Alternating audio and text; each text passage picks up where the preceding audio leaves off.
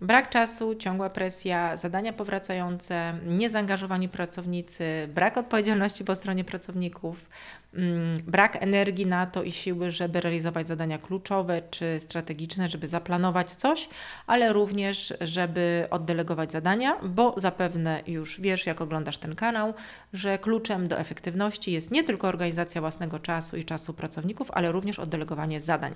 Jeżeli ten temat Cię interesuje, to dzisiaj w tym wideo podam Ci cztery zadania, jakie trzeba oddelegować w pierwszej kolejności, po to, żeby uwolnić swój czas i zająć się tym, co najważniejsze. Ja nazywam się Magdalena Wojtkowiak i od ponad 20 lat zajmuję się zarządzaniem ludźmi. Na tym kanale dzielę się moją wiedzą, więc jeżeli jest to dla Ciebie przydatne, możesz subskrybować i dać łapeczkę, a my idziemy do tego, jakie zadania oddelegować pracownikom. Jeśli chcesz nauczyć się delegowania zadań, tak żeby nie wracały do Ciebie i wreszcie uwolnić swój czas, zobacz kurs o skutecznym delegowaniu. Żeby zacząć delegować zadania, to na samym początku proponuję zrobić Ci listę tego, co robisz. I powtarzałam to już wielokrotnie, powtarzam to również na moim kursie dotyczącym delegowania zadań i też również mówiłam o tym wideo. Najpierw usiądź i spisz wszystkie zadania, które masz do zrobienia, ale tak dosłownie wszystkie, wszystkie, wszystkie. I jak już one będą, to zacznij się im przyglądać. I teraz z tych zadań, pierwsze zadanie, które mm, powinieneś czy powinnaś oddelegować mm, innej osobie.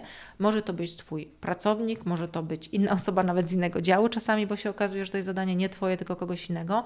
A czasami naprawdę warto jest zatrudnić asystenta czy asystentkę, czy osobę na staż, czy nawet studenta po to, żeby wykonywał te zadania, dlatego że czas tej osoby jest tańszy niż Twój czas. Jeżeli masz co do tego wątpliwości, to zastanów się, ile ty zarabiasz na godzinę, a ile będzie zarabiał na przykład student czy studentka, którego przyjmiesz na chwilę do zespołu, na przykład na umowę zlecenie czy na umowę o dzieło. Więc z tych zadań, które masz, popatrz na te zadania, które są powtarzalne. Te zadania, które powtarzają się na przykład co miesiąc, albo te, które powtarzają się co tydzień, albo te, które mają pewien rytm, pewien cykl. Więc to są pierwsze zadania, którym warto się przyjrzeć i zobaczyć, czy faktycznie to ty musisz je robić. Jeżeli się okazuje, że to nie są takie zadania, w których Twoja odpowiedzialność jest najważniejszą odpowiedzialnością i są zatem bardzo duże konsekwencje, a są to zadania powtarzalne, więc znasz tą rutynę, to oddeleguj te zadania w pierwszej kolejności, dlatego że już w trakcie miesiąca zobaczysz, ile czasu będzie uwolnione. Drugi rodzaj zadań, które warto jest y, oddelegować, to są te zadania, które ktoś zrobi szybciej od ciebie. I ja wiem, że teraz jest tak, że u niektórych są te zadania, zwlekasz, odkładasz, bo nie masz czasu, dawno już powinny zostać zrobione, ale ich nie, oddelegu, nie oddelegujesz, bo ty je zrobisz, ale okazałoby się, że gdybyś je oddelegowała, gdybyś je oddelegował pracownikowi innemu albo innemu współpracownikowi, albo innej osobie nawet na równorzędnym stanowisku, to ta osoba zrobiłaby te zadania szybciej. Czasami nawet bajer polega na tym, że jeżeli ty oddelegujesz swojemu pracownikowi, to twój pracownik myśli, że to jest priorytet dla niego, bo ty te zadania oddelegowałeś i okazuje się, że dużo, dużo szybciej ono jest zrobione niż ty je zrobisz, dlatego że ty potrzebujesz do niego usiąść, zastanowić się, odłożyć inne rzeczy, oderwać się od tej bieżączki, w której jesteś, od gaszenia pożarów czy od rzeczy strategicznych i ty je robisz. Nie rób tak oddaj te zadania swojemu pracownikowi lub współpracownikowi lub innej osobie, której możesz to zadanie oddać, bo ona zrobi je szybciej od Ciebie. Trzecim rodzajem zadań, które należy oddelegować, są te, te zadania, które ktoś zrobi lepiej od Ciebie. I teraz spotykam naprawdę dużo liderek, dużo liderów, dużo właścicieli firm i właścicielek, którzy na przykład zainteresowali się jakimś tematem, na przykład ustawianiem reklam na Facebooku, albo zainteresowali się montażem filmów, bo to nagle okazało się fajne, istotne i oni najlepiej wiedzą, jak to powinno być zrobione. I zamiast oddać to fachowcowi, nawet zamiast zatrudnić firmę zewnętrzną, to siedzą i tracą bardzo dużą ilość czasu na to, żeby to robić. Jeżeli są zadania, które ktoś potrafi lepiej zrobić od ciebie, to zleć te zadania tej osobie, Poproś, żeby ta osoba z powrotem Ci te zadania wysłała i Ty to sprawdź. Jeżeli oczywiście będzie odbiegało to od Twoich standardów, to zawsze możesz wrócić z tym do tej osoby ta osoba może to poprawić i Ty możesz usprawnić przekazywanie swoich standardów i oczekiwań lepiej. Natomiast jeżeli ktoś jest fachowcem w czymś, to naprawdę bardzo często okazuje się, że lepiej tej osobie jest zapłacić pieniądze, bo jak popatrzysz na swój czas, który wykonujesz i e, robisz w tym zadaniu, to stracisz go więcej niż osoba, której e, zapłacisz.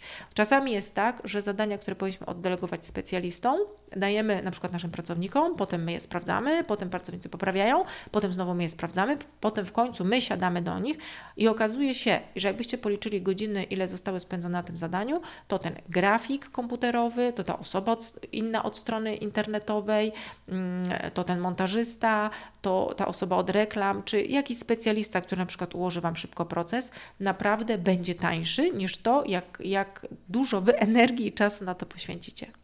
Czwartym rodzajem zadań są te zadania, z których możesz zrobić instrukcję. Jeżeli możesz zrobić checklisty, możesz rozpisać proces po kolei, co ma być robione na poziomie szczegółowym. I słuchajcie, ja Was zachęcam do tego, żebyście rozpisywali takie instrukcje bardzo szczegółowo, żeby nie zostawiać tam domysłów, interpretacji ani mm, punktów, w których ktoś nie wie, co ma dalej zrobić bo to wtedy stracicie czas i wtedy to zadanie z powrotem do Was wróci, bo ktoś powie: Nie wiedziałem, jak to zrobić, nie wiedziałem, e, co zrobić.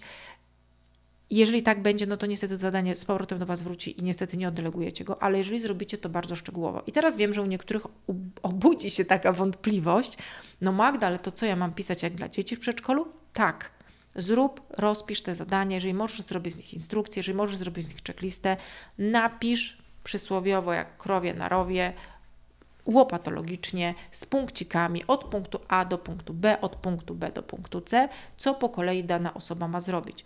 Wydrukuj to wtedy i to zadanie z tą checklistą, z tym procesem rozpisanym oddaj tej osobie. No i oczywiście trzeba przeprowadzić w wszystkich tych czterech przypadkach odpowiednią rozmowę delegującą.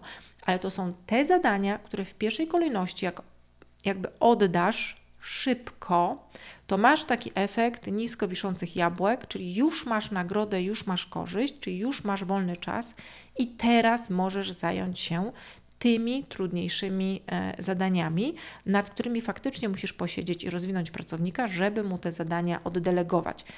Natomiast jeżeli nie ruszysz z tym i nie oddelegujesz tych czterech rodzajów zadań, które zapewne masz i zapewne w Twojej table, tabelce lista zadań, one są, powinien robić ktoś inny albo może robić ktoś inny, to jeżeli ich nie oddasz, to w ogóle nie zaczniesz z delegowaniem zadań. A jak nie zaczniesz z delegowaniem zadań, no to niestety, ale najlepsze metody i techniki zarządzania sobą w czasie nie pomogą, bo cały czas będziesz siedzieć w tym samym. Jeżeli chcesz więcej na temat delegowania zadań, to ja zapraszam Cię do kursu, który właśnie przygotowałam, delegowania zadań. Tam krok po kroku pokazuję Ci mocno przekonuję z dużą ilością argumentów w praktyce, dlaczego po pierwsze warto jest delegować zadania, jak to robić konkretnie, komu to dawać i tam również dostajesz ode mnie metody, jak to zrobić skutecznie, łącznie z modelami, jak przeprowadzić rozmowę delegującą, jak przeprowadzić rozmowę rozwojową, monitorującą po tym, jak już oddelegujesz zadania. Jeżeli ten materiał był dla Ciebie wartościowy, to e, zasubskrybuj, daj lajka, oznacz dzwoneczek, żeby dostawać te materiały na bieżąco. Ja zapraszam Cię do kolejnego wideo dotyczącego delegowania zadań, bo na tym kanale no już teraz są co najmniej cztery.